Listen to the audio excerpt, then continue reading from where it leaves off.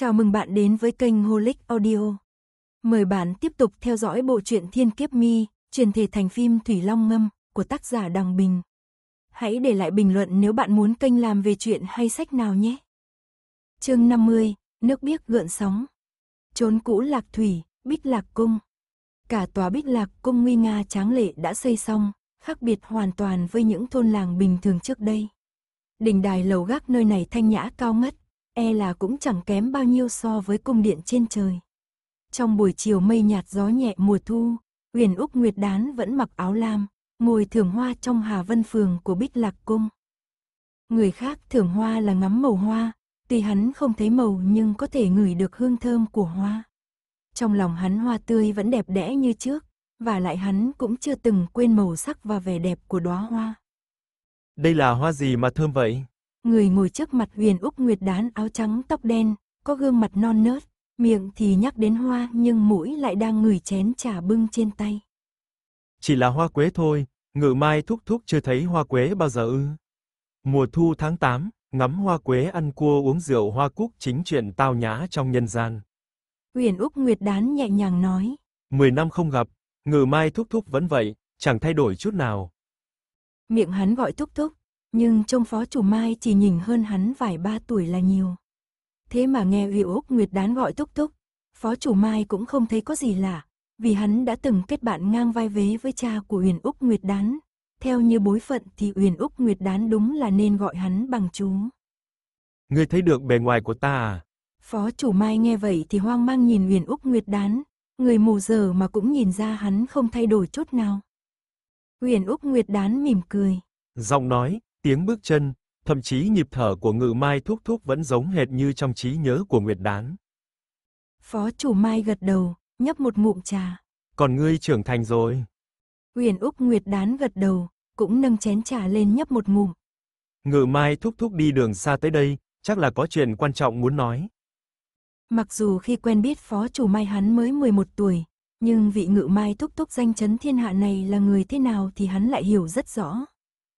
Ta, Phó chủ Mai nhìn chén trà trên mặt bàn bằng đá cẩm thạch, thân chén mỏng như cánh ve, nước trà xanh ngọc trong vắt, cả trà và chén đều vô cùng quý giá. ta có chuyện muốn hỏi ngươi. Nếp nhăn nơi khóe mắt huyền Úc Nguyệt đán khẽ giãn ra, hắn đặt chén trà xuống. Chuyện gì mà khiến cho ngự mai thúc thúc phải bận lòng? Đầu ngón tay phó chủ Mai chạm nhẹ vào nước trà, nước trà ấm áp thấm vào ngón tay gây ra cảm giác khác thường. Ta, ta, Trong lòng hắn có rất nhiều chuyện muốn nói nhưng lại chẳng biết phải bắt đầu từ đâu. Trong đầu là một mớ hỗn loạn, dù nói từ đâu vẫn là dối như tơ vò. ta không biết rốt cuộc nên thoái ẩn giang hồ, hay nên ở lại núi Hảo Vân. Do dự hồi lâu, hắn mới thì thào nói ra câu này. Đôi mày cong cong của huyền Úc Nguyệt đán khẽ nhíu lại. Kiếm hội Trung Nguyên, ngự mai thúc thúc đến từ núi Hảo Vân. Phó chủ Mai gật đầu, ngây ra nhìn cảnh sắc thanh nhã và hoa quế như chu sa của Bích Lạc Cung. Ta cứ ngỡ sau trận chiến 30 năm trước ở kiếm hội là có thể hoàn toàn thoát khỏi giang hồ, ai? Giang hồ, giang hồ luôn có vô vàn chuyện không vừa ý, ta không thích. Huyền Úc Nguyệt đán khẽ thở dài, dịu dàng nói tiếp câu chuyện thay hắn. Nhưng người không chọc vào giang hồ, giang hồ cũng chọc vào người. Chuyện của phong lưu điếm đã khơi lên con sóng lớn, ngự mai thúc thúc trung quy cũng khó mà lo cho riêng mình. Thật ra thì, Phó chủ Mai ngơ ngác nhìn hoa quế. vấn đề không phải là vậy. Huyền Úc Nguyệt đán khẽ mỉm cười. Vậy trên núi Hảo Vân rốt cuộc đã xảy ra chuyện gì mà khiến cho ngự mai thúc thúc băn khoăn như vậy? Phó chủ Mai đáp. Ta đã gặp đường lệ từ. Huyền Úc Nguyệt đán dùng đầu ngón tay gõ nhẹ lên chén trà mỏng manh kia, phát ra tiếng vang lanh lành. Đường công tử? Đường công tử là người cao minh, kiếm hội Trung Nguyên trên núi Hảo Vân có y thì tuyệt đối không vỡ trận, mà võ lâm Trung Nguyên có y cũng sẽ không rơi vào cảnh vạn kiếp bất phục. Phó chủ Mai nói. Y là bạn thân của ta. Huyền Úc Nguyệt đán thoáng ngẩn người. Chuyện này ta chưa từng nghe nói. Chúng ta quen nhau từ lâu lắm rồi. Phó chủ Mai ngửa đầu uống nốt chén trà kia. Võ lâm Trung Nguyên có y, cũng sẽ không rơi vào cảnh vạn kiếp bất phục. Tiểu Nguyệt có lòng tin đến thế sao? Huyền Úc Nguyệt đán ngưng ánh mắt suy tư, lắng nghe vô cùng nghiêm túc. Lẽ nào ngự mai thúc thúc lại không có lòng tin với đường công tử? Ủ Mai lắc đầu, đặt chén trà cạn xuống, mịt mờ nói. Đúng là ta không có lòng tin, vì ta quen biết đường lệ từ đã bao nhiêu năm, A lệ chưa bao giờ là một người có thể nương tựa. Y thật sự đã làm tốt rất nhiều chuyện, nhưng làm xong y lại vung tay phá hủy sạch sẽ những kết quả đó. Y chưa bao giờ chỗ dựa cho ai đó, hay là thần thánh có thể cứu vớt người ta. Ngự mai thúc thúc hiểu rõ đường công tử lắm à? Huyền Úc Nguyệt đán dịu dàng mỉm cười, không hề cảm thấy kinh ngạc vì những gì mình vừa nghe thấy. Phó chủ Mai nhìn dãy núi xa xa phía sau Bích Lạc Cung. Tiểu Nguyệt biết không, y đã từng dùng sách vở và bình rượu dựng nên một ngôi nhà rất đẹp trong vòng một tháng, sau đó mở tiệc trong ngôi nhà kia, mời rất nhiều người đến uống rượu, thế rồi. Hắn đau khổ thở dài. Sau đó y thả một mồi lửa thiêu rụi ngôi nhà kia, suýt nữa thì thiêu chết tất cả những người đến dự tiệc. Đôi mắt thanh tú và yếu ớt của Huyền Úc Nguyệt đán khẽ đồng. Hả? Phó chủ Mai gật đầu. Nhưng ta biết không phải y muốn giết người, y dựng gian nhà kia lên chỉ vì muốn phóng hỏa mà thôi. Huyền Úc Nguyệt đán mỉm cười. Nhưng nghe đồn đường công tử văn nhã lễ độ, người trong giang hồ đều tin chủ nhân vạn khiếu trai không phải hạng người hời hợt, nhất định có thể dẫn dắt mọi người vượt qua kiếp nạn giang hồ lần này. Phó chủ Mai mơ màng nhìn cái bàn tựa như bạch ngọc. Ta không hề nghi ngờ, đương nhiên y mạnh hơn liễu nhãn. Có điều tính khí A Lệ rất gàn dở, thật ra y là người yếu đuối, tinh thần rất dễ suy sụp. Nhưng vì tính khí vô cùng hiếu thắng, nên y sẽ không để cho người khác nhận ra có những lúc mình không chịu đựng nổi. Nếu có ai phát hiện thật ra y đang suy sụp, thì dù y không tức chết cũng sẽ phát điên. Chỉ Vân chết rồi, ta không biết mình nên ở lại núi Hảo Vân, hay là vĩnh viễn không ra mặt nữa. Huyền Úc Nguyệt đán thở ra một hơi rất dài rồi mỉm cười. Ta hiểu rồi. Phó chủ Mai vò vò đầu. Ta, ta nói lung tung, Tiểu Nguyệt hiểu thật chứ.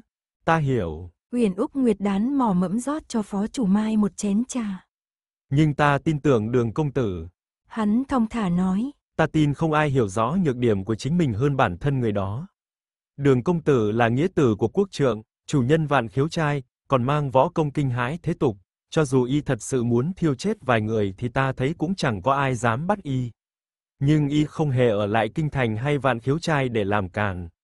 Y bước vào giang hồ, nhúng tay vào chuyện của phong lưu điếm, nghĩa là vứt đi tấm bình phong che chở bản thân.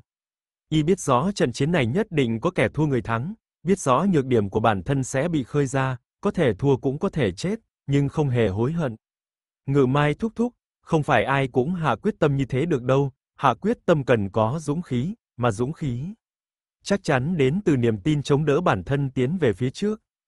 Ta biết niềm tin của A Lệ là gì, y muốn là một người tốt. Phó chủ Mai đột nhiên kích động, vỗ xuống mặt bàn. Bởi vì y đã làm quá nhiều chuyện bừa bãi, y muốn thay đổi, muốn làm người tốt, nhưng mà... Nhưng chính cái người bảo y phải làm người tốt lại giết người phóng hỏa, trà đạp lên những lời mình từng nói, niềm tin đến từ một người như thế làm sao thuyết phục được người khác cho được. Làm sao có thể khiến một người thật sự kiên định không rời, đi làm một chuyện vô cùng khó khăn. Niềm tin đó là của A Nhãn áp đặt lên A Lệ, không phải A Lệ tự mình nghĩ ra. Chén trà trước mặt hắn đổ đánh. Cạch, chén sứ mỏng manh vỡ tan, nước trà chảy đầy bàn rồi rơi xuống đất. Đường công tử có thể là một nam nhân yếu đuối, nhưng chắc chắn không phải là người thiếu kiên định. Huyền Úc Nguyệt đán chậm chậm nâng chén lên, uống hết chén trà của mình. Ta tôn trọng y vì đã làm một nam nhân gánh vác tất cả. Ngự mai thúc thúc, đừng coi y như đứa trẻ, chắc chắn y sẽ không để người thất vọng đâu. Phó chủ Mai ngơ ngác nhìn Huyền Úc Nguyệt Đán, không biết nên trả lời thế nào. Huyền Úc Nguyệt Đán kề chén sát bên môi, khẽ mỉm cười. Ngự Mai thúc thúc đúng là một người rất dịu dàng. Phó chủ Mai gật đầu, nhưng hắn chỉ đồng ý là câu nói trước đó của Huyền Úc Nguyệt Đán. Đừng coi y như đứa trẻ, gật đầu xong lại lúng túng vò vò đầu. Huyền Úc Nguyệt Đán mỉm cười vô cùng thoải mái, nếp nhăn nơi khóe mắt hơi cong lên. Ây, ngự mai thúc thúc, ta nghe nói quán rượu Ngân Giác Tử ở Lạc Dương có một đầu bếp tay nghề cao siêu, tên là Phó Chủ Mai, không biết ngự mai thúc thúc có quen người này không? Phó Chủ Mai ăn lên, lại càng lúng túng. Ta, ta. Huyền Úc Nguyệt Đán nhẹ nhàng nói. Ta thật sự không biết tên của ngự mai thúc thúc là Phó Chủ Mai đâu, lúc nghe tin này cũng giận mình. Ta đã đi riêng một chuyến đến đó ăn thử, món bánh điểm tâm ngự mai thúc thúc làm quả thật là mỹ vị nhân gian, đáng tiếc kỹ năng nấu thịt cá thì còn hơi kém. Phó chủ Mai trợn tròn đôi mắt trong veo, vô cùng kinh ngạc nhìn Huyền Úc Nguyệt Đán. Ngươi, ngươi đến ngân giác tử ăn cơm lúc nào? Tại sao phải đi riêng một chuyến đến ăn? Đôi mày đẹp đẽ của Huyền Úc Nguyệt Đán hơi nhướng lên. Vì ta rất muốn đi, cho nên phải đi ngay. Phó chủ Mai lại vò đầu mạnh hơn. Ngươi, ngươi. Hắn không biết nên nói gì cho phải nữa. Ngự mai thúc thúc, Bích Lạc Cung có thứ này, mong thúc thúc có thể xem qua. Huyền Úc Nguyệt Đán cười xong thì đứng dậy. Ở bên này, mời đi theo ta. Đầu óc phó chủ Mai còn chưa thôi suy nghĩ chuyện Huyền Úc Nguyệt Đán cố ý đến ngân giác tử để ăn đồ hắn làm. Lơ đãng ừ một tiếng, đột nhiên nói. Tiểu Nguyệt đừng gọi ta là ngự mai thúc thúc nữa, gọi ta là tiểu phó đi. Huyền Úc Nguyệt Đán khẽ mỉm cười, lưỡng thưởng bước đi không quay đầu lại. Vì sao? Phó chủ Mai đáp. Tại vì, tại vì, mỗi khi ngươi gọi ngự mai thúc thúc, ta không biết ngươi đang gọi ai, phải nghĩ một lúc mới nhớ ra là gọi ta. Huyền Úc Nguyệt Đán dịu dàng đáp. Được. Hai người vòng qua dãy hành lang dài rằng rặc, đi đến một vườn hoa rộng lớn. Phó chủ Mai thấy khắp nơi là hoa cỏ mềm mại, có những khóm đã héo khô, có những bông đang nở rộ, mà đại đa số đều kết đầy những quả nhỏ màu sắc rực rỡ, ong ánh căng đầy, sáng bóng tròn trịa, khiến cho cả khu vườn mang vẻ ấm áp và tràn đầy sức sống. Hoa trái điểm xuyết, bụi cây bên đường, giữa những bụi cỏ hoa là mấy chục tấm bia bằng ngọc xanh lẳng lặng đứng đó, trên bia khắc đầy chữ, viết rất nhiều cái tên. Đây là khu mộ. Phó chủ Mai kinh ngạc thốt ra câu hỏi, Huyền Úc Nguyệt Đán muốn hắn đến khu mộ xem cái gì? Huyền Úc Nguyệt Đán chỉ về phía mấy chục tấm bia mộ, muốn hắn nhìn kỹ một tấm. Đó là mộ của một cô nương, nàng không phải người của Bích Lạc Cung, nhưng lại chết trong Bích Lạc Cung. Trước khi chết nàng ói, rất muốn gặp người một lần. Phó chủ Mai ngơ ngác nhìn nấm mộ kia. Nàng là ai? Huyền Úc Nguyệt Đán đáp. Sát thủ Chu Lộ Lâu. Phó chủ Mai mờ mịt nhìn tấm bia mộ kia, loáng thoáng nhớ ra điều gì, lại dường như hoàn toàn không có ấn tượng, rốt cuộc nàng là ai? Là một người bạn đã từng quen biết sao? uyển Úc Nguyệt Đán lùi về một bước, ngọn gió lạnh lẽo buổi hoàng hôn mùa thu thổi qua vạt áo, làm tay áo nhẹ nhẹ tung bay. Hắn ngẩng đầu nhìn trời, trong lòng âm thầm nhớ lại màu của hoàng hôn. Đã trải qua rất nhiều buổi hoàng hôn của mùa thu, biết bao người sống kẻ chết, vô vàn nguyện vọng vẫn chưa thành hình, mà cũng có vô số ngọn cỏ xanh mọc lên từ đất vàng đã đơm hoa kết trái. Hai người lặng yên đứng ở khu mộ trong chốc lát, có người đi qua hành lang dài khắc hoa sau lưng. Phó chủ Mai xoay người lại, chỉ thấy đó là một cô gái áo đỏ, bóng lưng yểu điệu biến mất sau cổng vòm hình tròn của vườn hoa. Nàng vẫn luôn đi theo ngươi. Phó chủ Mai quay đầu nhìn Huyền Úc Nguyệt Đán. Hai người không có quan hệ gì sao? Nàng là ai? Huyền Úc Nguyệt Đán đáp. Nàng là một cô gái thông minh đang do dự. Phó chủ Mai nhìn theo hướng nàng rời đi. Do dự chuyện gì? Do dự không biết rốt cuộc tình cảm cho đi không cần đáp lại đáng quý, hay trước mắt chỉ cần bỏ ra rất ít vẫn có được sự quan tâm săn sóc dịu dàng càng làm cho người ta quyến luyến hơn. Phó chủ Mai thở dài. Dĩ nhiên mỗi một người đều mong tình cảm mình cho đi sẽ được đáp lại tương xứng, nhưng chuyện như thế chung quy rất hiếm xảy ra. Nét mặt Huyền Úc Nguyệt Đán hết sức ôn nhu. Người tự cao luôn cố chấp, ta chỉ mong sau khi nàng lựa chọn thì hai bên sẽ bớt tiếc nuối đi một chút. Phó chủ Mai vò vò đầu. Lựa chọn của nàng quan trọng lắm sao? Huyền Úc Nguyệt Đán cười khẽ. Rất quan trọng. Trong lúc trò chuyện, Phó chủ Mai lại nhìn thấy cô gái áo đỏ kia phía bên kia. Chỉ thấy nàng đứng dưới một gốc cây cách đó không xa, một nam tử áo màu xanh ngọc đưa cho nàng một chén trà. Nàng cúi đầu im lặng, kia nam tử áo xanh cũng không nói gì, đứng bên nàng một lát thì xoay người rời đi. Ờ, kia là Bích Liên Y phải không? Phó chủ Mai chợt bừng tỉnh. À, thì ra nàng là ý trung nhân của Tiểu Bích, nhưng tại sao nàng phải theo dõi ngươi? Huyền Úc Nguyệt Đán mỉm cười. Tiểu phó lúc nào cũng rất nhạy bén, làm sao người biết nàng là ý trung nhân của Bích Đại ca? Phó chủ Mai tự nhiên mở to hai mắt. À cảm giác thôi, ta cảm thấy có gì đó khác thường. Huyền Úc Nguyệt Đán dịu dàng nói. Vậy sao? Phải rồi, ta đang lo lắng một chuyện, tiểu phó có thể giúp ta một tay không? Phó chủ Mai gật đầu lia lịa. Chuyện gì? Huyền Úc Nguyệt Đán đáp. Chỗ ta có một bệnh nhân, khớp xương khắp cơ thể bị hơn 100 cái gai độc ghim vào, không thể nhúc nhích cũng không thể nói chuyện. Nếu không có ai giúp hắn ép gai độc ra khỏi người, thì e rằng không thể tiếp tục chống đỡ. Trong Bích Lạc Cung tuy nhiều người tập võ, nhưng không ai có được công lực như thế. Phó chủ Mai vội nói. Để ta thử xem sao, người đó ở đâu? Hắn ở vong lan các. Huyền Úc Nguyệt đán đi trước dẫn đường, tuy không nhìn thấy gì nhưng bước chân vẫn ung dung thong thả, vừa đi vừa cười nói. Thật ra bao nhiêu năm rồi ta vẫn nghĩ không thông, tiểu phó là người vừa nhiệt tình lại đơn giản, cũng không có lòng muốn gây dựng danh tiếng, tại sao hễ cầm ngự mai đao lên thì hoàn toàn biến thành một người khác. Khi vùng đao giết người, tiểu phó đang nghĩ gì vậy? Phó chủ mai thoáng trầm lặng, rất lâu sau hắn mới đáp. Thật ra ta cảm thấy dù làm chuyện gì, dù đó là chuyện mình thích làm hay không thích làm, nếu đã quyết định đây là chuyện nên làm thì nhất định phải dốc hết nỗ lực để làm cho tốt. Cho nên... Hắn thở dài. Cho nên lúc cầm đao, ta rất nhập tâm làm một đao khách, mà khi làm chuyện khác cũng vậy. Khi không cầm đao ta rất nghiêm túc làm chính mình, bao nhiêu năm qua ta không muốn thay đổi, bởi vì ta cảm thấy mình như thế này rất tốt. Huyền Úc Nguyệt đán mỉm cười. Khi nhập tâm hoàn toàn có thể đạt đến cảnh giới vượt qua người thường, đây là chuyện không phải ai cũng làm được. Nghiêm túc làm chính mình, trên đời được mấy người có thể thành thực và tin tưởng vào chính mình như vậy chứ. Ha ha, người và đường công tử đều là dạng người này. a đừng đi tiếp nữa, hãy sang bên này. Hắn kéo tay áo phó chủ mai giống như kéo tay áo một đứa trẻ dễ lạc đường, chậm rãi bước vào một đình viện. Đây là một đình viện trồng đầy hoa lan, có mấy giỏ tu lan đang nở, tuy không phải giống lan gì đặc biệt, nhưng vẫn mang mùi hương dịu nhẹ thanh nhã. Phó chủ Mai tò mò nhìn những giỏ hoa lan kia, hiển nhiên là hắn không nhận ra giống lan nào, nhưng rõ ràng hắn vô cùng ngưỡng mộ người trồng ra những giỏ hoa lan này. Ngắm hoa lan một hồi, hắn mới quay đầu nhìn vào trong phòng, chỉ thấy hai thiếu niên áo xanh đang hợp lực khiêng một người đàn ông cao lớn toàn thân cứng đờ, mái tóc dài rối tung ra ngoài. Người kia mặc một bộ áo tím, tuy hơi rách dưới nhưng đã được giặt sạch sẽ, hiển nhiên là người của Bích Lạc Cung đã giúp hắn giặt sạch rồi lại mặc vào. Hắn, Phó chủ Mai mờ mịt nhìn người kia. Hắn là ai? Cuồng Lan vô hành. Huyền Úc Nguyệt đán dịu dàng nói. Một trong số thất hoa vân hành khách, là một lực sĩ có sở trường dùng trường kiếm dài tám thước. Phó chủ Mai vò vò đầu, ánh mắt càng thêm mờ mịt. Có lẽ hắn từng nghe cái tên này mà giờ đây đã quên mất, nhưng nhiều khả năng hắn chưa bao giờ ghi nhớ. Gai trên người hắn nằm ở nơi nào? Bắt đầu từ hốc mắt, tất cả khớp xương có thể hoạt động trên cơ thể đều bị đâm hai cái gai nhỏ trở lên. Huyền Úc Nguyệt đán thở dài.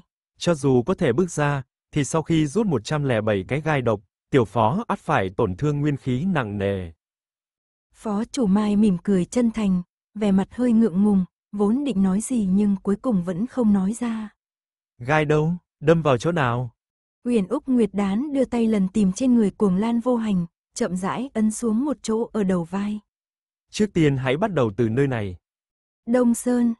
Phương Bình trai áo vàng quạt đỏ, nấp trên cây nghe trộm hai người nam nữ kia nói chuyện xong thì nhẹ nhàng lui ra, trên đường đi vẫn liên tục suy tính.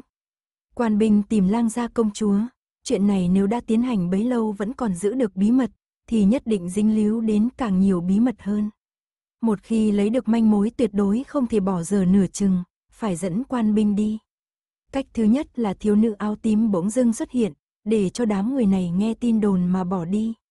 Cách thứ hai chính là tay vung lên đao chém xuống, giết hết hai ba chục người này, làm thế thì tạm thời bình an vô sự, nhưng giết hoàng thân quốc thích sẽ để lại hậu họa vô cùng. Nên giết người, hay là giúp tìm người đây?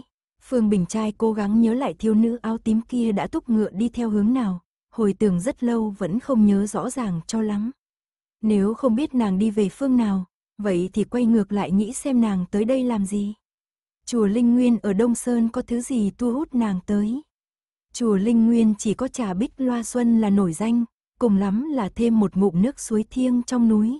Nào có đáng để một thiếu nữ đang độ thanh xuân không ngại ngàn dặm đường xa tìm tới chứ. Ừm, suối thiêng à, nghe đồn suối thiêng có thể trị tâm bệnh, nhìn nàng vung kiếm giết người độc ác biết bao, tâm lý chắc chắn thất thường, không chừng nàng đến đây chính là vì con suối thiêng này. Phương Bình trai bật cười ha hà, múa quạt đi vòng ra sau lưng chùa Linh Nguyên.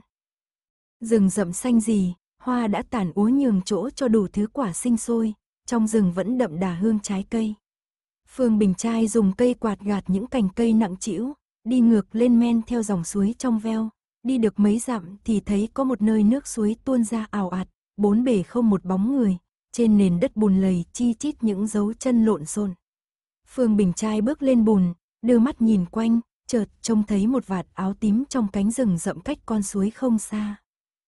Hơ, hắn nâng quạt vén bụi cây ra, chỉ thấy trong rừng cây cách con suối thiêng 17-18 bước có một thiếu nữ áo tím đang nằm, thân thể ướt sũng từ đầu đến chân, mái tóc dài xõa tung, sắc mặt trắng bệch, đã ngất đi từ lâu.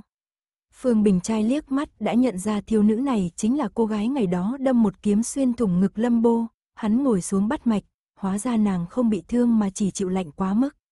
Ôi chao, ta biết làm sao cho phải bây giờ. Nói là muốn tìm người, không ngờ lại tìm được thật. Trời ơi là trời, ông nói xem ta nên xách nàng đến gặp quan phủ mà lĩnh thưởng mấy trăm lượng bạc, hay là để nàng lại nơi này cho nàng chết bệnh, bị chó hoang cắn xé thành nhiều mảnh, mỹ nữ biến thành bộ xương khô. Một quý công tử có lương tâm lại thương hương tiếc ngọc như ta đây, đương nhiên phải có lương tâm mà thương hương tiếc ngọc rồi. Nào, để cho quý công tử cứu mạng cô đi. Hắn vừa lẩm bẩm một mình, vừa bế thiếu nữ áo tím dưới đất lên, thân hình nhoáng tay đã xuyên qua rừng rậm trở ra. Bên ngoài thôn làng cách chùa Linh Nguyên không xa, sau một hồi phí công, chừng 10 nhóm nhỏ lần lượt trở về, vây quanh một gian nhà dân.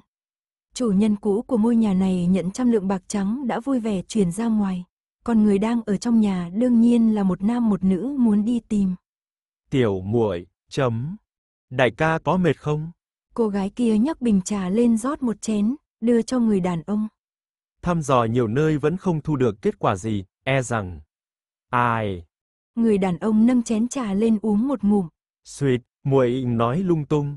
Tiểu muội phúc lớn mạng lớn, nếu năm đó chưa chết trong mộ, thì ngày sau đương nhiên cũng không chết, muội ấy là cành vàng lá ngọc mà. Cô gái nở một nụ cười gượng, khe khẽ thở dài. Hai người còn đang than thở, bỗng ngoài cửa có tiếng cười khẽ.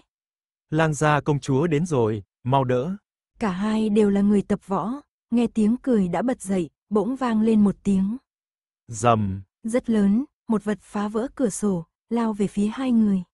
Người đàn ông kia quát to một tiếng, đưa hai tay ra đỡ, cố gắng vừa đỡ vừa xoay, phải xoay tròn mất hai vòng mới triệt tiêu đi lực va đập. Hắn cúi đầu xuống nhìn, giật mình kinh ngạc. Đây là... Cô gái kia la lên thất thanh. Tiểu muội, vật. Phá tung cửa sổ bay tới chính là một thiếu nữ áo tím toàn thân ướt đẫm, dùng nhan xinh đẹp, sắc mặt lại vô cùng tiểu tụy, vầng trán thấm đẫm vẻ u sầu. Người đàn ông ngẩng đầu lên nhìn cô gái, lại nhìn thiếu nữ áo tím nằm trong lòng mình.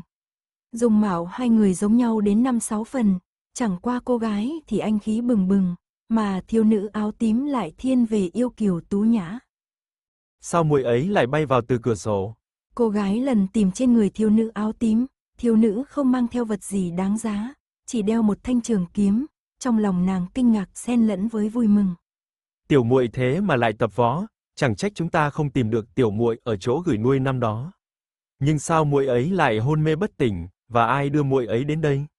Ôi, nàng lấy ra một vật từ trên người thiếu nữ áo tím. Đây là Người đàn ông chăm chú quan sát, cô gái tìm thấy trên người thiếu nữ áo tím một miếng ngọc bội. Ngọc bội có màu đỏ nhạt rất hiếm thấy, chạm thành hình lông vũ, bên trên khắc bảy chữ. Vô ưu vô lự Phương công tử. Chấm, Phương công tử, là vì Phương công tử nào đưa tiểu muội về, làm sao hắn biết thân phận của tiểu muội? Người đàn ông vừa kinh ngạc vừa mừng rỡ. Vị Phương công tử này nhất định là ân nhân của tiểu muội, đợi tiểu muội tỉnh dậy rồi phải hỏi lại kỹ càng rồi ban thưởng thật hậu hĩnh. Cô gái ra cửa hỏi, thị vệ đứng gác bên ngoài đều nói chỉ thấy một cái bóng vàng lóe lên, thiếu nữ áo tím đã bay vào trong nhà. Còn cốt cuộc là người nào mang đến, rồi làm sao rời đi thì không một ai thấy. Nửa ngày sau, gió vi vu thổi, nắng ấm ôn hòa. Trung Xuân Kế từ từ mở mắt ra, mờ mịt nhìn lên trần nhà, sao nàng còn chưa chết nhỉ? Lại nghe có người dịu dàng hỏi bên tai nàng. Tiểu muội đã đỡ hơn chút nào chưa? Nghe giọng nói thì là của một cô gái trẻ tuổi. Nàng chậm chậm đưa mắt nhìn sang, trước mắt là gương mặt ân cần của một cô gái, trông có mấy phần tương tự với nàng, cô gái này là ai? Ta. Cô gái kia kia cầm tay nàng. Ta họ Triệu, tên là Triệu Tông Doanh, huynh ấy là Triệu Tông Tĩnh. Tiểu muội là em gái của chúng ta, vốn họ Triệu, tên là Triệu Tông Huệ. Chúng ta là dòng dõi của tiên hoàng và vương hoàng hậu, bây giờ Tông Tĩnh đại ca đang là chỉ huy sứ của 28 đội cấm quân, chúng ta tìm muội rất lâu rồi. Trung Xuân Kế nhất thời không hiểu nàng đang nói gì, mờ mịt hỏi. Tiên hoàng. Triệu Tông Doanh vui vẻ đáp. Đúng vậy, đại ca là vương gia cao quý, còn tiểu muội chính là công chúa đương triều. Trung Xuân Kế ngơ ngác nhìn nàng. Công chúa. Triệu Tông Doanh nắm tay nàng, mỉm cười nói. Chúng ta đã sớm nhận được tin tức, nói tiểu muội lớn lên thành một thiếu nữ thanh xuân dung mạo xinh đẹp, thần sắc u buồn, đọc nhiều thi thư, tài cao tám đấu. Muội xem hai ta tướng mạo tương đồng, không cần chứng minh cũng biết muội là em gái ta. Trung Xuân Kế được nàng nắm tay, chỉ cảm thấy vô cùng ấm áp. Nàng ngước mắt nhìn lên, đứng bên cạnh là một thanh niên vóc người khôi ngô, miệng khẽ mỉm cười, bờ vai rộng rãi, cứ như dù trời sập xuống hai người này cũng có thể chống đỡ cho nàng, nhất thời vành mắt đỏ ửng. Từ nhỏ lớn lên bên tuyết tuyến tử, sư phụ xuất quỷ nhập thần, cả năm không rõ tung tích, tinh khí lại vô cùng quái gở, nàng chưa bao giờ cảm nhận được tình thân ấm áp như thế này. Vành mắt đỏ ửng, nước mắt tràn khóe mi, nàng lại bắt đầu khóc lớn. Triệu Tông Doanh và Triệu Tông Tĩnh đưa mắt nhìn nhau, Triệu Tông Tĩnh đi tới khẽ vuốt đầu nàng. Trung Xuân Kế khóc đến tan nát cõi lòng, rất lâu sau mới sụt sùi hỏi. Ta, ta là công chúa thật sao? Triệu Tông Doanh dịu dàng đáp. Đương nhiên rồi. Trung Xuân Kế khóc lóc hỏi. Ta, sao ta lại là công chúa? Triệu Tông Tĩnh đáp. Cành vàng lá ngọc do hoàng thất sinh ra, đương nhiên là công chúa, không cần phải hoài nghi. Trung Xuân Kế chỉ lắc đầu. Ta, ta luôn cảm thấy tất cả mọi chuyện đều là giả, đều là lừa người, ta, sao ta lại có phúc đến vậy chứ? Ta làm sao xứng? Triệu Tông Doanh và Triệu Tông Tĩnh bật cười, khẽ xoa đầu nàng, kiên trì dù gì tâm sự an ủi nàng. Sau một gian nhà dân cách nơi này 20 bước, Phương Bình trai náu mình dưới mái hiên, ngưng thần yên lặng nghe ngóng. Nghe thấy Trung Xuân Kế khóc lớn, Triệu Tông Doanh dịu dàng an ủi, nói muốn dẫn nàng về kinh thành ngắm kinh đô phồn hoa, sẽ không ở lại đây nữa, hắn mới thong thả rút lui. Trong thư mi cư, Liễu Nhãn vẫn ngồi quay mặt vào tường, Ngọc Đoàn Nhi kê một cái ghế ra ngồi trước cửa, ngẩng đầu ngắm trời xanh. Phương Bình trai bảo Liễu Nhãn trốn đi trước, kết quả cái gọi là trốn của Liễu Nhãn chính là tiếp tục ngồi trong phòng, tay ôm cây sáo của hắn. Ngọc Đoàn Nhi đã mấy lần dục hắn nấp vào trong hầm, nhưng Liễu Nhãn vẫn giả điếc. Nói vài lần không được, Ngọc Đoàn Nhi bèn kê ghế ra ngồi trước cửa, chống cằm nhìn trời, trong lòng hạ quyết tâm nếu có người đến lục soát thì nàng sẽ cõng Liễu Nhãn chạy đi. Còn chạy đi đâu, thì đương nhiên nàng chỉ muốn đến khu rừng ở gần núi Hảo Vân, đó là nơi nàng lớn lên. Xa xa có bóng áo vàng lướt tới, Phương Bình trai phe phẩy cây quạt đỏ, vừa nhìn quanh quất vừa đi về. Thấy Ngọc Đoàn Nhi kê ghế ra ngồi ở cửa, hắn thở dài thườn thượt. Nhìn cảnh này cũng đủ biết vị sư phụ kia của ta hoàn toàn không nghe lời. May mà ta thông minh tuyệt đỉnh, tài giỏi muôn phần, dẫn được quan binh đi, bằng không hậu quả thật là đáng sợ, vô cùng đáng sợ á. Ngọc Đoàn Nhi hỏi. Ngươi chưa chết à? Phương Bình trai lập tức sặc một ngụm khí. Khổ khổ, vì sao ta phải chết? Không lẽ trong lòng ngươi, ta là kẻ yếu đuối không đỡ nổi một đòn như vậy sao? Không lẽ trong lòng ngươi, dẫn quan binh đi nghĩa là phải ra tay chém giết, mà đã ra tay chém giết thì bên thua chắc chắn là ta, mà ta biết rõ sẽ thua vẫn xông lên đối phó với phe địch mới là quang minh vĩ đại anh Tuấn khả ái. Nếu không phải thế, ngươi sẽ cảm thấy thật thất vọng thật đáng tiếc thật bi ai. Ngọc Đoàn Nhi sốt ruột xua tay. Ngươi không chết là tốt, quan binh đâu? Phương Bình trai bật cười ha hà. Quan binh ấy à, chuyện về quan binh, ta chỉ có thể nói cho vị sư phụ tốt tối ngày mong ngọn núi to ngoài kia tự dưng lở xuống một tảng đá lớn đập chết mình đi cho rồi. Ngọc Đoàn Nhi nói. Hắn đâu có muốn đi tìm chết, người bớt ăn nói nhảm nhí, hắn còn ở trong phòng. Phương Bình trai vén rèm bước vào, đập vào mắt vẫn là bóng lưng của Liễu Nhãn. Sư phụ thân yêu, Đồ Nhi đã dẫn quan binh đi, nơi đây an toàn rồi. Liễu Nhãn không đáp, Phương Bình trai phe phẩy cây quạt đỏ, đi dạo trong phòng thuốc. Liễu Nhãn vẫn không đáp, hắn bèn lầm bẩm một mình. Huynh biết ta đã dẫn quan binh đi như thế nào không? ta đã làm một chuyện kinh thiên động địa vạn trượng hào quang, nói ra cũng có rất ít người chịu tin tưởng, huynh có muốn biết là chuyện gì không? Liễu nhãn bịt tai không nghe, Phương Bình trai xoay người lại. Huynh rất muốn biết phải không? Huynh rất muốn biết chứ gì? Ta nói cho huynh nghe, ta nhặt được công chúa đương triều trong rừng, ta ném công chúa vào chỗ quan binh chú đóng, bọn họ đã đi rồi. Liễu nhãn nghe đến đây thì khẽ nhíu mày. Công chúa, lang gia công chúa đương triều, nghe nói là con gái thứ ba của tiên hoàng và vương hoàng hậu. Người ta đồn nàng đầy bụng thi thư, tài cao tám đấu, yểu điệu xinh đẹp, giống như tiên nữ trên trời. Phương Bình trai thao thao bất tuyệt.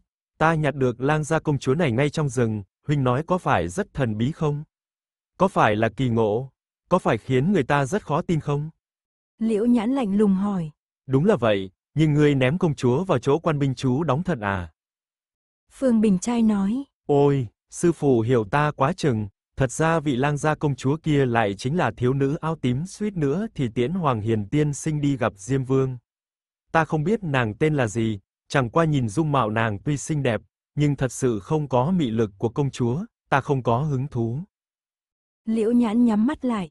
Nàng họ Trung, tên Trung Xuân Kế. Phương Bình trai ngạc nhiên hỏi. Thì ra huynh quen nàng ta ư? Quen biết một cô gái tệ hại như thế quả nhiên không phải chuyện tốt lành gì, chẳng trách huynh chưa bao giờ nói ra. Liễu nhãn tiếp. Nàng là học trò của tuyết tuyến tử, rốt cuộc có phải công chúa hay không thì cứ hỏi tuyết tuyến tử là rõ. Phương Bình trai à lên. Câu này có ý gì? Lẽ nào huynh cho rằng nàng ta không phải công chúa? Liễu nhãn mở mắt ra, ánh mắt lạnh lùng trong trẻo, bình thản đáp. Ta không nói thế. Ngón tay Phương Bình trai đã chỉ đến tận mũi hắn. Nhưng ý của huynh chính là như thế. Liễu nhãn lạnh lùng nhìn hắn chẳng nói chẳng rằng, một lát sau thì nhắm mắt lại. Phương Bình trai che cây quạt đỏ lên đầu, thở dài.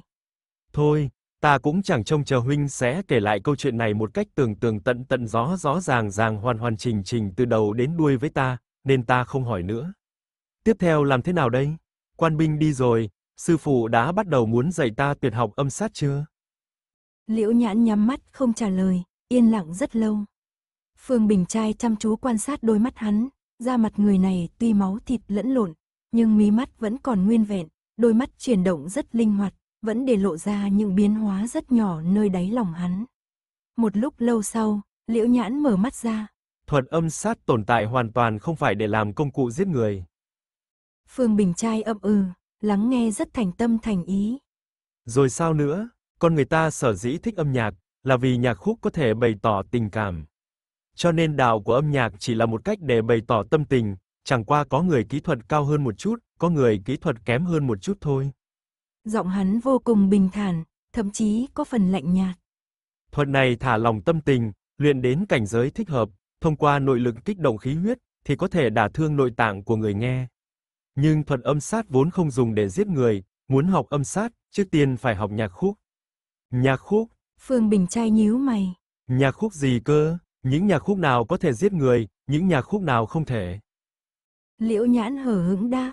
Giết được người hay không chẳng liên quan gì đến nhạc khúc, nếu ngươi chỉ muốn giết người thì không cần học nhạc khúc. Phương Bình trai cúi đầu ho một tiếng. Ta đương nhiên dùng nó để giết người, câu trên kia chỉ là nói đùa, tin hay không tùy huynh. Liễu nhãn lạnh nhạt nhìn về phía trước rất lâu rồi chậm chậm rút từ trong tay áo ra một cây sáo trúc, thổi một đoạn giai điệu. Phương Bình trai lặng lẽ tập trung lắng nghe, liễu nhãn bỗng ngắt nửa chừng. Khúc nhạc ta vừa thổi, nếu muốn người đệm chống góp vui thì tổng cộng có mấy chỗ đệm được. Phương Bình trai trợn mắt há mồm. Mấy chỗ hả? Ba, ba chỗ. Liễu nhãn lạnh lùng đáp. Nói nhảm, là 17 chỗ, đoạn nhạc này tổng cộng có 17 nhịp trống. Giờ này ngày mai ta lại thổi một lần nữa, đến lúc đó nếu ngươi không đệm đúng 17 nhịp trống này, thì thuật âm sát không có duyên với ngươi. Phương Bình trai ngây người một lúc lâu, nhíu mày lại, cây quạt đỏ trước ngực cũng thôi phe phẩy. Hắn ngẩng đầu nhìn lên mái phòng thuốc, không hề nhúc nhích. Hắn đang cố gắng nhớ lại giai điệu liễu nhãn vừa thổi, dẫu chỉ lọt vào tay có một lần, nhưng dựa vào trí nhớ của hắn vẫn có thể gắng gượng ghi nhớ. Đệm trống à, nếu muốn đệm trống góp vui giữa khúc nhạc thì phải đệm ở đâu? 17 nhịp, 17 nhịp, 17 nhịp trống phải gõ vào đâu? Ngẫm nghĩ hồi lâu, hắn rút từ trong tay áo ra một thanh phi đao nhỏ, ngồi xổm xuống vẽ ra đất rất nhiều ký hiệu hình thù kỳ lạ. Thứ này đương nhiên không phải cầm phổ, chỉ là những ký hiệu hắn tùy tiện vẽ ra để ghi bản nhạc. Nếu không vẽ lại giai điệu mà hắn cố gắng ghi nhớ thì đợi lát nữa không chừng sẽ quên.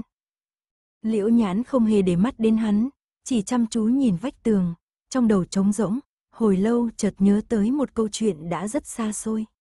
Lần đầu tiên hắn học gõ trống, ánh mắt thầy dạy nhìn hắn lộ rõ sự yêu thích, bởi vì hắn là một đứa trẻ mới lên 6 tuổi đã thuộc bản nhạc.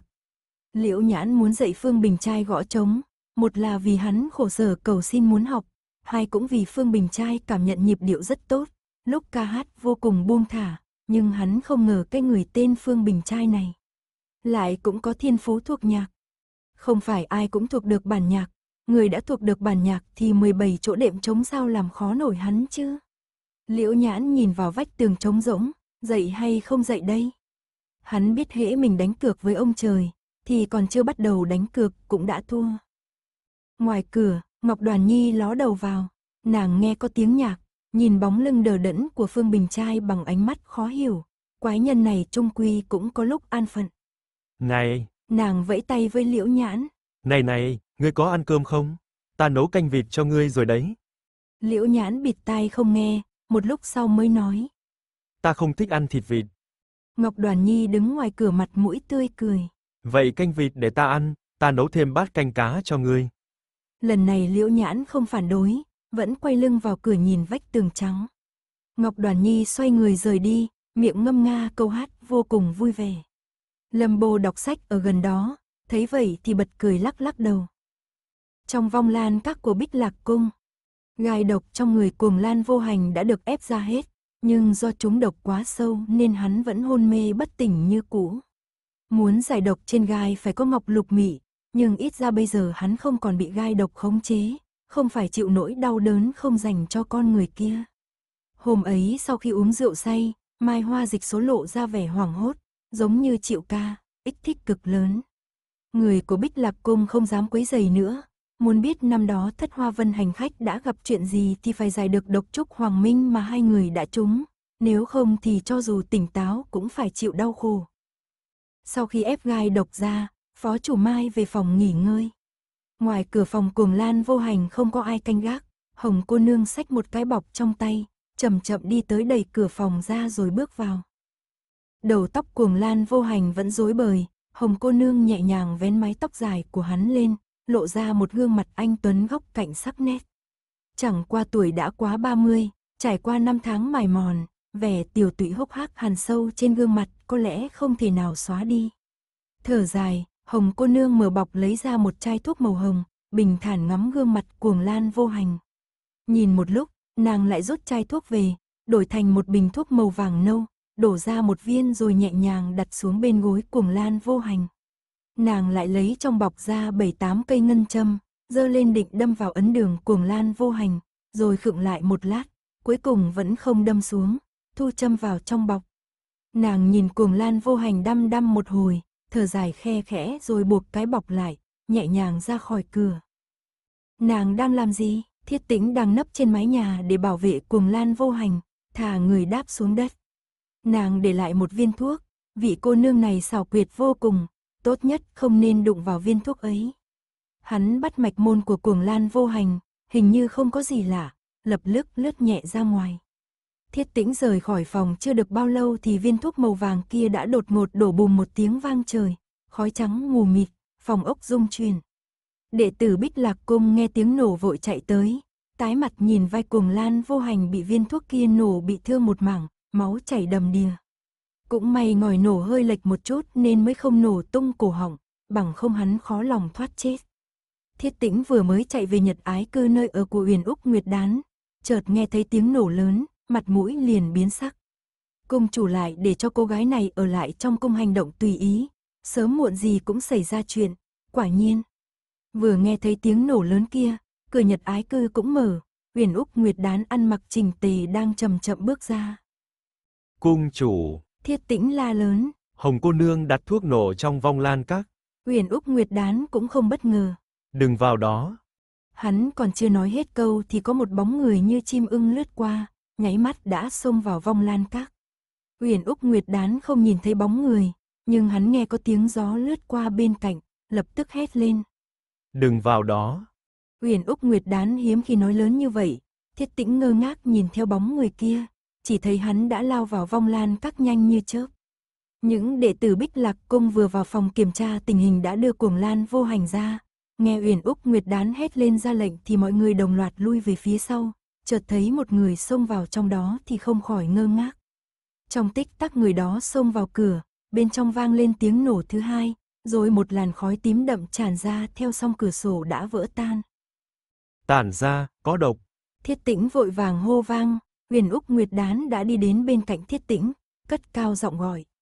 Tiểu phó, tiểu phó, tiểu phó.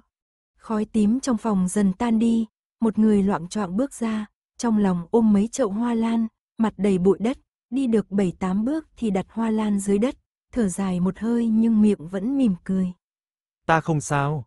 Huyền Úc Nguyệt Đán nghe thấy giọng hắn, cặp mày đang căng lên mới thoáng giãn ra. Trong phòng có độc phải không? Thiết tĩnh cau mày nhìn người vừa xông vào phòng cứu hoa lan, người mặc áo trắng đầu tóc rối bời, chính là phó chủ Mai. Hắn không biết vị thiếu niên áo trắng này có giao tình gì với công chủ. Mười năm trước khi phó chủ Mai vào Bích Lạc Cung thì hắn vẫn còn là một đứa trẻ, chưa từng gặp phó chủ Mai, đương nhiên không thể ngờ thiếu niên áo trắng này là trưởng bối của Huyền Úc Nguyệt Đán. Nhưng người này có thể rút hơn 100 cái gai độc trên người cuồng lan vô hành thì võ công quả là kinh người. Một nhân vật cỡ này lại xông vào gian nhà đang nổ chỉ để cứu mấy chậu hoa lan, đúng là... Đúng là không biết phải nói hắn thế nào mới được. Độc. Phó chủ Mai vẫn hoàn toàn không nhận ra trong phòng có độc. Hắn quay lại liếc nhìn gian nhà đang bốc khói. À. Hắn giúp cuồng lan vô hành rút gai độc nên nguyên công hao tổn rất nhiều. Kịch độc lại tỏa ra khắp phòng. Hắn chỉ kịp a lên một tiếng, trao đảo rồi ngã ngửa ra sau. Dọn hoa lan vào, đỡ người về phòng đi. Sắc mặt huyền Úc Nguyệt Đán đã bình thản như cũ. Bích đại ca, bảo Hồng cô nương đưa thuốc giải ra đây. Phía sau đám người, Bích Liên Y đang đứng hiên ngang, nghe vậy thì hơi khom người xuống. Vâng. Thiết tĩnh nhìn phó chủ mai được người ta đưa đi, nhìn gian nhà vẫn đang bốc khói, thở một hơi thật dài. Hồng cô nương để lại bẫy thuốc nổ bên gối cuồng lan vô hành, thuốc nổ lần đầu phát nổ khiến cuồng lan vô hành bị thương, giúp phong lưu điếm diệt khẩu, thôi thúc hắn đi gọi Uyển Úc Nguyệt Đán. Mà lần thứ hai phát nổ là muốn phun kịch độc, đúng lúc Uyển Úc Nguyệt Đán đang xem vết thương cho cuồng lan vô hành, nhằm dế, tê chết Uyển Úc Nguyệt Đán. Nếu Uyển Úc Nguyệt Đán không thông minh đoán trước được tâm cơ độc kế này nên không chịu đi vào, thì đúng là rất khó đề phòng. Nhưng dù không đả thương được Uyển Úc Nguyệt Đán thì cũng vô tình làm thiếu niên áo trắng kia bị thương, chuyện này không biết phải xử lý ra sao. Sương phòng dành cho khách. Hồng cô nương âm thầm nhìn vong lan các cách mấy tầng cửa, hai tiếng nổ vang lên, tiếng người ồn ào, nhưng trong lòng nàng lại không hề vui vẻ. Một tiếng cạch vang lên, cửa phòng bị đẩy ra nhẹ nhàng, Bích Liên Y bưng một chén trà nóng từ tốn bước vào. Chuyện Đông Phương, người đàn ông này rất anh tuấn, rất nhẫn nại, rất trầm tĩnh, cũng rất kiên định. Nàng nhìn trà nóng trong tay hắn. Huyền Úc Nguyệt Đán, còn chưa chết ư? Trên mặt Bích Liên Y chẳng có biểu cảm gì, rất bình tĩnh đáp. Chưa. Hắn đưa trà nóng trên tay cho nàng. Gió cuối thu lạnh lẽo, đây là trà gừng. Nàng nhận lấy, uống một ngụm nhỏ. Nếu chưa thì ngươi đến đây làm gì? Tiết trời đã dần vào cuối thu, chân tay nàng lạnh giá, bưng chén trà gừng trong tay vô cùng thoải mái. Mấy ngày nay chỉ cần có lúc rảnh rỗi, Bích Liên Y đều bưng cho nàng một chén trà gừng nóng. Hắn không bao giờ nói thêm câu gì, nhưng nàng vẫn tự hiểu. Thuốc giải. Bích Liên Y thản nhiên nói. Thuốc giải. Hồng cô nương khẽ mỉm cười. Ai chúng độc thế, hóa ra ta cũng không thua sạch, là Uyển Úc Nguyệt Đán bảo ngươi đến chỗ ta lấy thuốc giải à. Nàng đặt chén trà gừng xuống, nhẹ nhàng đứng lên, tay áo màu đỏ phất ra sau. Sao hắn không tự đến? Hắn không đến là vì không coi cô như người ngoài. Bích Liên y đáp. Nếu đã đả thương nhầm người, với khí độ của cô nương, lẽ ra không thể không nhận thua. Hồng cô nương mỉm cười yêu kiều. Ta nào có cái khí độ đó? Ai nói ta muốn nhận thua? Dù là ai trúng độc cũng tốt, bằng không chẳng phải ta hao tâm tổn trí vô ích sao? Ta sẽ không đưa thuốc giải cho ngươi, ngươi nói với huyền úc nguyệt đán, trong vòng ba ngày, ta muốn biết tung tích và tin tức của liễu nhãn. Bích Liên Y nhìn đăm đăm vào mắt nàng. Quyết định này không hề cao minh, cũng khiến ta và cung chủ thất vọng. Sắc mặt hồng cô nương tối đi, vỗ đánh dầm lên bàn. Ta đã tốn quá nhiều thời gian ở Bích Lạc Cung, ngươi có hiểu nỗi khổ của ta khi lo lắng nhớ nhung một người không? Trong vòng ba ngày, ta muốn có tin tức của hắn. Ta không muốn nghe những chuyện khác. Bích Liên Y nhíu mày, lùi về sau hai bước, đóng cửa rời đi. Nàng bưng chén trà gừng hắn mang tới, hơi ấm trà gừng vẫn còn vương vấn trên tay. Nhìn hắn lẳng lặng rời đi, trong lòng nàng bỗng nổi giận, người này. Dù nàng nói gì với hắn thì hắn vẫn không tức giận, cùng lắm chỉ nói một câu thất vọng. Thất vọng, thất vọng, dựa vào đâu ta phải làm các ngươi hài lòng vừa ý, phải khiến các ngươi thỏa mãn. Ai cần các ngươi coi ta cùng hội cùng thuyền, ai cùng hội cùng thuyền với các ngươi chứ? Cả cái bích lạc cung rộng lớn này toàn là mấy tên điên không biết đang nghĩ gì. Chán nản ngồi xuống, nàng đập vỡ chén trà gừng kia, hơi nóng bốc lên, mảnh vỡ bay tán loạn. Tôn chủ, tôn chốt cuộc chàng ở đâu? Tại sao ngày tháng giằng giặc trôi qua mà tin chàng vẫn biển biệt bóng chim tăm cá? Chàng có biết chăng, trong lòng tiểu hồng khó khăn đau khổ biết bao. Nàng cầm bình trà trên bàn lên rồi đập nó đánh choang xuống đất, ném bình trà xong lại ném chén trà, ném chén trà xong thì đập cả khay trà. Nhìn những mảnh sứ vỡ nằm tán loạn dưới đất, nàng ngơ ngẩn rất lâu rồi bỗng gục xuống bàn khóc quà lên. Lúc này trong phòng phó chủ Mai, Văn Nhân Hách đang bắt mạch cho hắn, Huyền Úc Nguyệt Đán đứng sang một bên, nhẹ nhàng hỏi. Tình hình thế nào? Văn Nhân Hách cau mày đáp. Ta chưa từng gặp thứ kịch độc này, dường như cùng loại với kỳ độc trong người thất hoa vân hành khách, chỉ khác một xíu thôi, nhưng ta tin chúng đều bắt nguồn từ Trúc Minh Hoàng. Ngự Mai, nhầm, Phó Ưm Tử có nội lực thâm hậu, vốn không dễ bị độc xâm nhập. Nhưng bây giờ Nguyên Công đang tổn thương nặng nề, trong vòng 2 tháng khó lòng hồi phục, không thể tự ép độc ra. Mà chờ 2 tháng e rằng độc tính đã phát tác, thuốc giải bình thường không có tác dụng với loại độc này. Nếp nhăn nơi khóe mắt huyền Úc Nguyệt đán nheo lại. Nghĩa là buộc phải dùng lục mỹ. Văn nhân hách cười khổ. Ta dùng ngân châm có lẽ sẽ chống đỡ được một tháng, nhưng sau một tháng mà không có lục mị thì chắc chắn không khống chế được độc tính. Lúc này phó chủ Mai đã tỉnh, nghe vậy thì vò vò đầu. À. Ngoài một tiếng. À. Này ra thì hình như hắn cũng không nghĩ ngợi gì. Văn nhân hách trợn mắt nhìn hắn.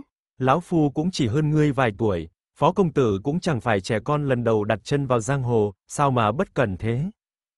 Thật ra phó chủ Mai cũng không quá quan tâm mình có trúng độc hay không, chỉ mở to đôi mắt nhìn văn nhân hách. Không sao đâu. Văn nhân hách nổi giận. Làm gì có chuyện không sao? Đây là kỳ độc trong thiên hạ, dù ngươi, dù ngươi có bản lĩnh kinh người, thì khi độc phát tác vẫn đi tong cái mạng. Phó chủ Mai lắc lắc đầu, nhìn vẻ mặt nghi hoặc và bất mãn văn nhân hách, hắn lại lắc đầu. Ai rồi cũng phải chết mà. Văn nhân hách nổi điên. Ngươi định cứ thế mà chết sao? Ngươi, ngươi mang một thân tu vi, nay giang hồ đang trong cơn mưa gió, ngươi cũng mặc kệ ư? Ngươi có thể đi chết rồi à? Phó chủ Mai há mồm cứng họng, lại lắc đầu nguầy nguậy. Không phải, không phải, ta, ta chỉ nghĩ, à, thật ra thì ta đã nghĩ đến cái chết từ lâu rồi. Đương nhiên ban đầu ta cũng sợ chết, nhưng nghĩ lâu rồi thì thấy cũng chẳng có gì. Không phải vì ta, không phải vì ta cho rằng có thể tùy tiện chết đâu. Chẳng qua ta thấy không có gì đáng để căng thẳng, nên sống thì sẽ sống, còn không cứu được thì cũng đành chịu thôi, ai mà chẳng phải chết. Ta không cảm thấy muốn khóc, sợ hãi hay không cam lòng, cho nên không biết phải nói gì. Văn Nhân Hách và Thiết Tĩnh đứng bên cạnh đưa mắt nhìn nhau. Họ đã gặp biết bao người mắc bệnh nan y hay bị thương không cứu được, nhưng chưa bao giờ gặp ai giống như Phó Chủ Mai. Thiết Tĩnh ho nhẹ. Ngươi suy nghĩ rất thông suốt. Phó Chủ Mai nhìn hắn cười cười. Ừ. Văn Nhân Hách hừ một tiếng nặng nề, trong lòng ông tuyệt đối không đồng tình với thái độ để mặc cho dòng đời xô đầy này, nhưng cũng chẳng biết phải nói sao. Về cái chết, Huyền Úc Nguyệt Đán nhẹ nhàng nói. Chưa đến lúc thật sự phải chết thì nói nhiều cũng vô ích. Hắn vừa nói ra câu này, thiết tĩnh và văn nhân hách tức thì nghiêm túc lại, ngay đến phó chủ mai cũng nín thở không dám nói thêm. Huyền Úc Nguyệt Đán khẽ mỉm cười. Nhưng muốn lấy lục mị châu thì Bích Lạc Cung vẫn chưa đủ sức, ta sẽ gửi thư cho đường công tử, mong y có thể ra tay giúp đỡ. Còn nếu trong dân gian có lưu truyền loại chân bảo hiếm có này, thì Bích Lạc Cung không ngại dốc hết tiền tài trong cung để lấy về cho phó công tử. Cho nên đừng nói chuyện sinh tử, sẽ không chết đâu. Tiểu Nguyệt, A Lệ. Phó chủ Mai mở to hai mắt, khóe mắt yếu ớt tu nhã của Uyển Úc Nguyệt đán nheo lại, chân mày hơi cong lên.